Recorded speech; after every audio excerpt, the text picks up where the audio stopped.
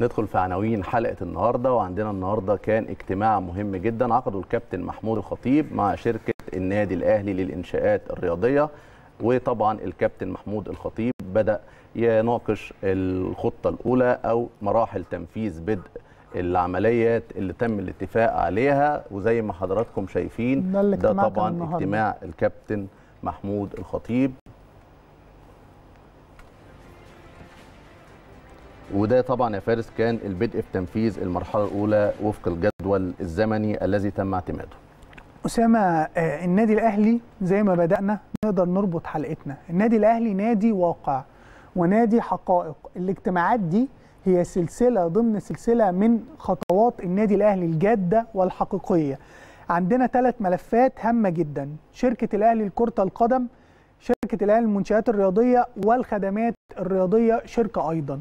كل حد عنده جدول أعمال كل حد عنده تارجت كل حد عنده أهداف. الأهداف دي بتاخد النادي الأهلي لمكانة ومنحنى مختلف تماما. زي ما إحنا شايفين فعلا النادي الأهلي كل يوم في خطوة جديدة وكل يوم بمجهود جديد يا نادي احترافي بمعنى الكلمة بيسبق الجميع دايما داخل مصر وكمان حقيقي. داخل أفريقيا وبيحاول يحط أطر مختلفة تماما للتطوير دايما وده سمة النادي الأهلي أو أهم سمات النادي الأهلي. وطبعا كل التوفيق للنادي الأهلي في تحقيق أهدافه. لأن عندنا كمان ربط بين من شركة المنشآت كمان عندنا إعادة تفعيل الصالون الثقافي. الصالون الصالون الثقافي ده كان بيميز دايما النادي الاهلي الكابتن محمود الخطيب طبعا رئيس النادي الاهلي ومجلس الإدارة أعادوا تفعيل أو فعاليات الصالون الثقافي. وكان عندنا طبعا كاتب ومؤلف تم تدشين كتابه وحضر رموز كبيرة جدا. والأهم من كل ده إن إحنا عندنا في النادي الأهلي يا فارس زي ما بنهتم بالجوانب الرياضية صحيح. أيضا بنهتم بالجوانب الثقافية لأن في النهاية أنت بيهمك في المقام الأول كنادي أهلي هو صناعة إنسان صالح متعلم اجتماعي بتقدم نماذج جيدة للوطن. على أرض الواقع يا أحمد وزي ما بنقول النادي الأهلي واقع. تاني شفنا صورة الكابتن محمود الخطيب والدكتور كمال درويش. قامتين في الرياضة. دكتور كمال درويش بيدي مثال. ده تقدروا تفهموا منه أهداف الصالون الثقافي اللي هي حاجة من الحاجات اللي أنا شخصيا بسعد بيها جدا. النادي الأهلي زين النوادي. فعلا تحيه وجلالا للنادي الأهلي لأن النادي الأهلي بيروح في حتة مختلفة. سهل جدا يا أسامة تبقى أنت بتعمل اللي الكل بيعمله. ولكن النادي الأهلي واخد خط لوحده.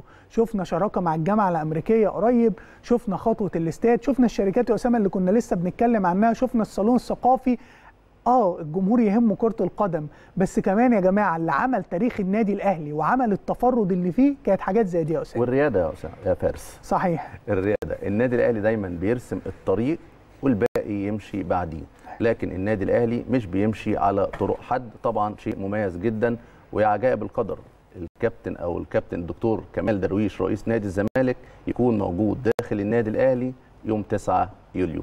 شيء طبعا صدفة وشيء قدري. طبعا الدكتور كمال درويش كان آه، رئيس نادي الزمالك الأسبق عام 2000 آه، دكتور كمال درويش له كل الاحترام مني شخصية تربوية أنا أعزها كثيرا وإدى مثال والنادي الأهلي بيبني والنادي الأهلي بيعرفنا كلنا إن النادي الأهلي نادي رائد في المنطقة والشرق الأوسط. وفعلا كل خطوة بيعملها النادي الأهلي بنكون فخورين بيها بالتأكيد يا فارس على العلم الدكتور كمال درويش من أنجح الرؤساء اللي قادوا نادي الزمالك لتحقيق البطولات وكان عصر مزدهر جدا مع الدكتور كمال درويش. ندخل في أخبارنا عن مباراة النادي الأهلي والمقصه تم تغيير موعد المباراة.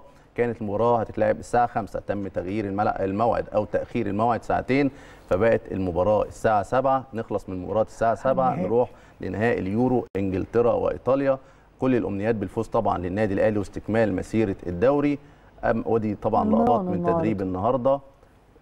وممكن كمان بيتسو موسيماني يا فارس أعلن قائمة اللاعبين 21 لاعب في حراسة المرمى الكابتن محمد الشناوي. كان طبعا في أقاويل كتير اتقالت ولكن الكابتن محمد الشناوي موجود في قائمة مباراة المقصه ومصطفى شوبير وحمزة علاء في خط الدفاع علي معلول ومحمود وحيد وأيمن أشرف وياسر إبراهيم ورامي ربيعة وبدر بنون وأكرم توفيق ومحمد هاني.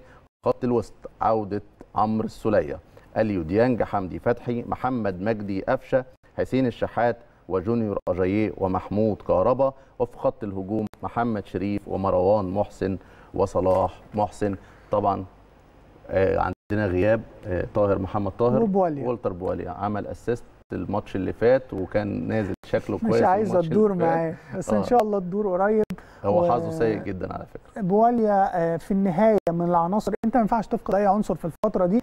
اللي سعيد بيه إن داخل النادي كل الكلام إن في جدية رهيبة على اللاعبين. ومباراة المقصه بكرة يا أسامة أنا بشوفها مباراة مهمة جدا. أكيد مباراة كايزر تشيفز ده الحدث ده آه، اللحظة اللي هي ختامية في مسيرتك في أفريقيا السنة دي واللحظة الاستثنائية اللي لازم كلنا منتظرينها.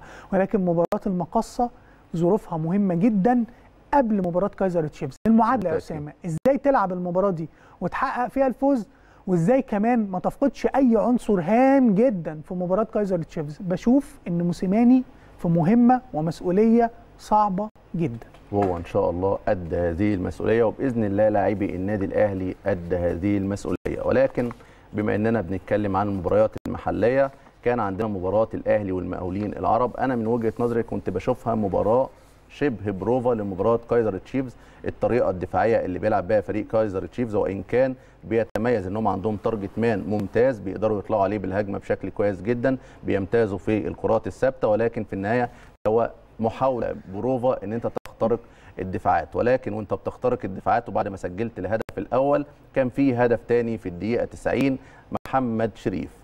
الراجل اللي لما بيظهر بيسجل. ممكن يغيب طول فترات المباراة لكن بيظهر في أوقات معينة بيخطف الأضواء. سجل الهدف الثاني فكان في بعض الناس اتكلمت عن فكرة قفشة وهو في احتمالية تسجيل مضمونة ومحمد شريف وهو في احتمالية تسجيل أقل. ولكن إحنا كل حاجة لها إيجابياتها وسلبياتها لكن محمد شريف مهم جدا يكون المهاجم عنده ثقة في نفسه ويكون حاطط احتمالات الكرة المضمونة لزميله زي احتمالات الكرة المضمونة معاه وكمان نتيجة المباراة لما بيبقى 1-0 يا فارس غير لما بتبقى 0-0 ساعدت محمد شريف إن هو يسجل فالبعض اتكلم عن قفشة ومحمد شريف وصوروا إن قفشة زعلان إلا إن قفشة نزل story بيتكلم فيه عن محمد شريف. هنروح لل story وهنقف عند كل مشهد من مشاهد علاقة اللاعبين زي ما علاقة اللاعبين إنسانية